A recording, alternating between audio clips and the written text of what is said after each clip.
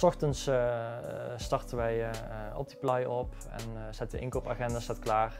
En dan kunnen we eigenlijk meteen beginnen met, met bestellen. En staat daar ook al meteen de, ehm, de leverancier en de bestelhoeveelheid bij.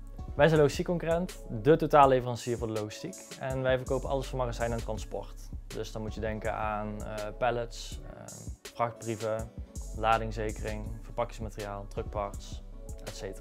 Als leverancier willen wij natuurlijk zo min mogelijk klanten uh, teleurstellen. En dan is het belangrijk dat je um, grip houdt op je voorraad.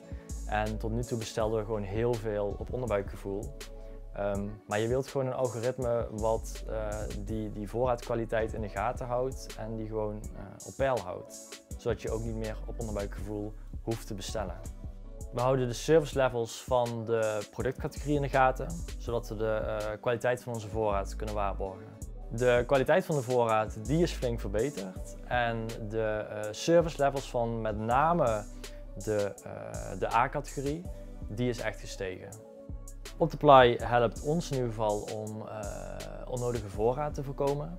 Um, we ervaren nu veel meer rust op de afdeling um, en we kunnen voorspellen wat onze klant echt nodig heeft. Ja, eerst werkten we echt in, in de waan van de dag. En um, we merken nu dat we gewoon echt structuur hebben. Uh, en dat we ook gewoon meer tijd overhouden om andere dingen te doen die bijdragen aan de groei van ons bedrijf.